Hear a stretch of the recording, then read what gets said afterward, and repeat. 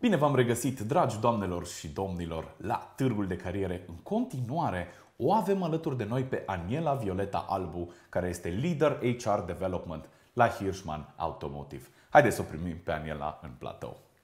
Salut! Salutări, bine te-am găsit, bine v-am găsit! Bine ai venit, Aniela, la live stream-ul Târgul de Cariere. Am câteva întrebări pentru tine și așa am înțeles că ai fi disponibilă să-mi răspunzi. Sigur, hai să vedem despre ce e vorba. Bine, perfect. Um, Hirschman Automotive este un uh, reper pe piața auto din România. Cum arată activitatea firmei la început de 2021? Ce planuri aveți pentru acest an? Um, în ciuda faptului că traversăm o perioadă destul de dificilă din punct de vedere a situației pandemice, care desigur se resimte și în industria auto prin uh, lipsa, prin carențele uh, de materie primă, aș putea afirma faptul că noi am început anul 2021 cu planuri mărețe, în uh, sensul în care construim o hală de aproximativ 9100 de metri pătrați, o hală care uh, va cuprinde atât spații de depozitare automată și manuală, cât și extinderea unor spații de birouri, respectiv uh, uh, zonă de producție.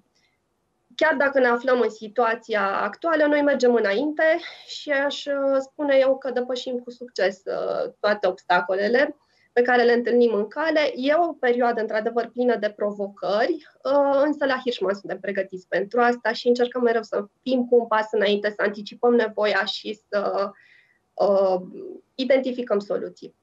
Excelent, excelent. Și uh, sloganul Târgul de Carieră este Privește înainte. Deci, Absolut. Bine. Privim cu toții înainte în continuare. Bun. Um, ați dezvoltat uh, proiecte în zona de smart uh, production. Cum au influențat practic aceste proiecte cererea um, de personal de la Hirschman? Um, desigur, uh, noile proiecte implementate în momentul de față sau în curs de implementare din, din această zonă generează fără doar și poate creșterea nevoii de personal. Astfel că ne-am uh, aflat în situația de a extinde echipele din uh, toate zonele, începând de la zona direct productivă, la departamente de logistică, calitate, engineering, uh, IT, contabilitate, cam pe toate arile de activitate, căutăm colegi noi. Uh-huh, uh-huh. Și, Aniela, cum ați reușit să motivați angajații în perioada aceasta? Uh, trebuie să recunosc faptul că e destul de dificil, pentru că presiunea uh, la nivel psihologic, dacă e să vorbim uh, în această perioadă, este destul de mare, însă încercăm să lucrăm pe mai multe paliere. Pe de o parte, începând cu grija pe care o avem referitor la Uh, securitatea în muncă, sănătatea, siguranța colegilor noștri. Uh, încercăm să creăm un confort psihic prin uh, discuții cu angajații și prin acordarea de suport. Um, însă e o perioadă în care, deși ne confruntăm cu aceste dificultăți, noi încercăm să rămânem focusați în continuare, așa cum am spus și anterior, pe identificare de soluții, pe obiectivele noastre, Uh, punem mare accent pe cursurile de formare, mergem mai departe și ne concentrăm, ne focusăm mai mult pe aceste aspecte și mai puțin pe cele de, uh, generate de această pandemie. Uh-huh, uh-huh. Înțeleg, cred că e o atitudine foarte, foarte bună. Um, uite, sunteți implicați în pregătirea forței de muncă, aveți întâlniri periodice cu studenții, chiar în cadrul companiei. Ne pot spune câteva cuvinte despre ele? Desigur, um, avem vizite în cadrul companiei, um, vorbim de, de activități de practică generală care permit studenților să uh, se familiarizeze cu domeniul nostru de activitate, cu departamentele pe care le avem în cadrul companiei noastre și, bineînțeles, cu activitățile aferente.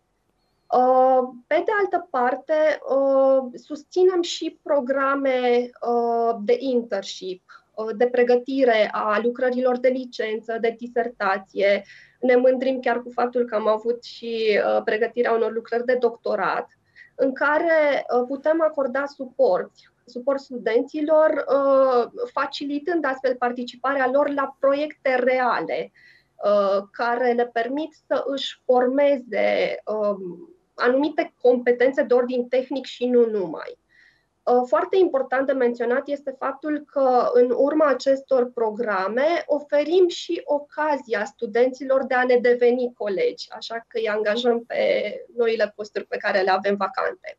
Și în aceeași măsură uh, susținem și workshop-uri pe diferite teme de interes pentru aceștia, fie că e vorba de uh, domeniul de resurse umane, de exemplu. Sunt foarte interesați să afle cum anume să-și construiască un CV, cum să uh, susțină un interviu de angajare, de pildă, uh, tematici, uh, de exemplu, pe zonă tehnică, lean management, managementul calității, tot felul de astfel de, uh, de teme, de subiecte care ar putea fi de interes pentru ei încercăm să, să ne focusăm și în această direcție. Mm-hmm, Foarte, foarte bine, excelent. Um, Aniela, tu înainte ai fost uh, specialist resurse umane la Hirschman. Acum uh, ești lider recrutare și dezvoltare. Care sunt practic punctele comune între aceste două joburi, ca să le zic așa, și ce aduce practic în plus uh, rolul pe care l-ai acum? Într-adevăr, uh, la Hirschman am început în postura de uh, specialist resurse umane, uh, cu pregătere în zona de selecție și recrutare de personal, ulterior fiind promovată pe poziția pe care o ocup momentan lider recrutare și dezvoltare. Acum, ca și punct comun, eu continui să fiu implicată direct în procesul de recrutare, mă refer cel de intervievare direct a candidaților pe posturile mai complexe, Însă aș putea afirma faptul că activitatea mea a crescut foarte mult în ultima vreme prin coordonarea unei echipe uh, cu competențe în zona de recrutare, selecție de personal, de dezvoltare, de training. Um, de asemenea, coordonez niște proiecte uh, de branding, de imagine a companiei, pe parte de motivare a angajaților, de evaluare a acestora. Uh, implementarea, mă implic și în implementarea unor proiecte noi, uh, de optimizare a proceselor deja existente. Acum suntem și în era digitalizării și trebuie să aducem uh, aceste aspecte și în area de resurse umane. Uh, recunosc că fiecare zi este o provocare pentru mine, însă mm, asta mă ajută foarte mult să îndepășesc limitele și sunt, sunt bucuroasă că fac parte din această echipă. Mm-hmm. Într-adevăr, depășirea limitelor ține cumva de um, orice fel de proces de carieră și poate chiar și în viață. Dacă... Dar hai să nu mergem Absolut. în direct. Da, hai să nu mergem în uh, direcția asta. Um, încă o întrebare pentru tine, um, Aniela. Uh, ai absolvit o facultate de psihologie, din ce înțeleg. Uh, crezi că un om de HR trebuie să fie și un bun psiholog? Um, unde se întâlnesc și cum se completează practic cele două domenii? Uh, e o întrebare foarte interesantă. Uh, consider că un om de HR nu trebuie neapărat să aibă studii în zona de psihologie, însă ar fi ideal, din punctul meu de vedere, să dețină cumva diplomația și tactul uh, necesar abordării oricărei situații, oricărei probleme, să aibă un uh, simț uh, empatic aparte, astfel încât să fie capabil să identifice uh, nevoi și să asigure suport uh, oamenilor. Acum, știm, oamenii sunt conduși de, de impulsuri, de emoții și cred că e mm. foarte important să știm cum să gestionăm astfel de situații. Uh, dacă îmi permiți, uh, vorbim de o oarecare măestrie în zona asta de relaționare interumană și în aceeași măsură cred că e important să ne uh, păstrăm și obiectivitatea și uh, să avem o etică profesională corespunzătoare. Uh-huh, uh-huh. Sunt, uh, sunt complet uh, de acord. Um, din perspectiva unei persoane care a fost specialist în resurse umane la o casă de bijuterii, cum vezi valabilitatea proverbului munca este prățară de aur în perioada pandemică? Cum vezi toate aceste lucruri în, în perioada pandemică? Da, ați, ați legat foarte frumos întrebarea asta de experiența mea anterioară. Uh, cred că, indiferent de domeniul de activitate pe care le avem uh, sau de industria în care lucrăm, uh, din punctul meu de vedere, adevărata brățară de aur o reprezintă resursa umană, omul. Uh, și acum merg, mă îndrept așa spre un alt uh, proverb, omul este cel care sfințește locul. Uh-huh. Cred că, deși, uh, mă repet, suntem în era asta automatizării, a industrializării, a digitalizării, toate aceste lucruri se întâmplă cu efortul oamenilor și ei sunt cei care uh, își aduc aportul la dezvoltare. Uh, în aceasta cred că constă adevărata comoară și cred că este necesar să știm cum uh, să știm să apreciem eforturile oamenilor și să știm cum să-i motivăm corespunzător. Uh, realmente munca în echipă este cea care ne ajută să facem față tuturor provocărilor. Că e vorba de această perioadă sau uh, perioada anterioară pandemiei, indiferent de era în care trăim, provocările sunt la ordinea zilei. Absolut, absolut. Bun. Uh, Aniela, care e întrebarea de HR preferată? Care ți se pare ție cea mai relevantă întrebare pentru un interviu? Fuh.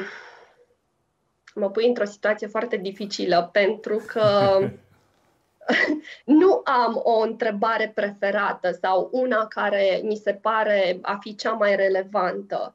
Um, Acum vorbesc strict de experiența mea personală și de modul în care abordez eu lucrurile. În procesul de intervievare, eu încerc să asigur cumva un, uh, un cadru propice, un cadru plăcut uh, dialogului, astfel încât la finele interviului atât noi, ca și reprezentanții ai companiei, ca și angajator, să rămânem cu o idee obiectivă asupra profilului candidatului, cât și uh, candidatul să poată să își formeze o imagine de ansamblu asupra companiei noastre, asupra ceea ce putem să oferim noi.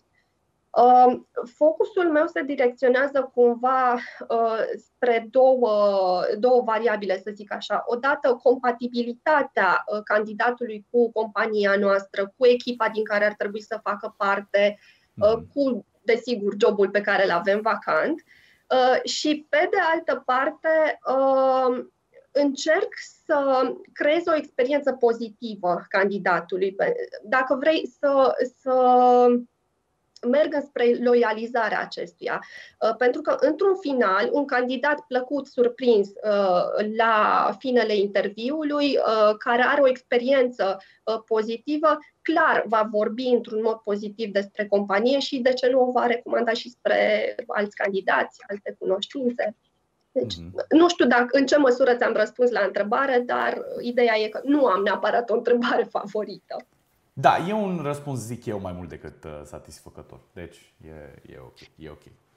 Um, bun, hai să te întreb uh, o întrebare așa mai, mai tricky, poate puțin. Um, dacă v-ar întreba un candidat acum, la un interviu. Ce vă diferențiază pe voi față de alte companii din profil uh, în felul în care sunt tratați angajații? Ce ai răspunde? Hmm. Uh, sunt foarte multe aspecte de discutat în, uh, în zona aceasta, însă mi-aș dori să pun accentul pe câteva dintre ele. Hmm. Uh, aș numi într-o primă fază siguranța locului de muncă și faptul că la Hishman se pune accentul pe sănătatea angajatului. În acest sens avem programe care tratează aceste aspecte, programe de siguranță, abonamente de sănătate, cabinete medicale în interiorul sediilor noastre, astfel încât uh, uh, angajații noștri să se simtă în siguranță și să aibă la cine să apeleze ori de câte ori este necesar. Uh, pe de altă parte, aș merge spre zona de programe de instruire și formare profesională. Uh, vorbim despre acest aspect încă de la integrarea noului angajat în companie, atât pentru uh, personalul direct productiv, mă refer la operatorii din producție, cât și pentru personalul TESA, pentru angajații cu studii superioare pe poziții ceva mai complexe. Uh, avem uh, de asemenea și un training plan anual foarte bine pus la punct, uh, prin intermediul căruia fiecare angajat Hirschman uh, are ocazia să participe uh, cel puțin o dată, anual sau uh, cu o anumită repetabilitate, cu o anumită frecvență, la un training, un workshop, uh, un curs care să-l ajute să-și dezvolte competențele.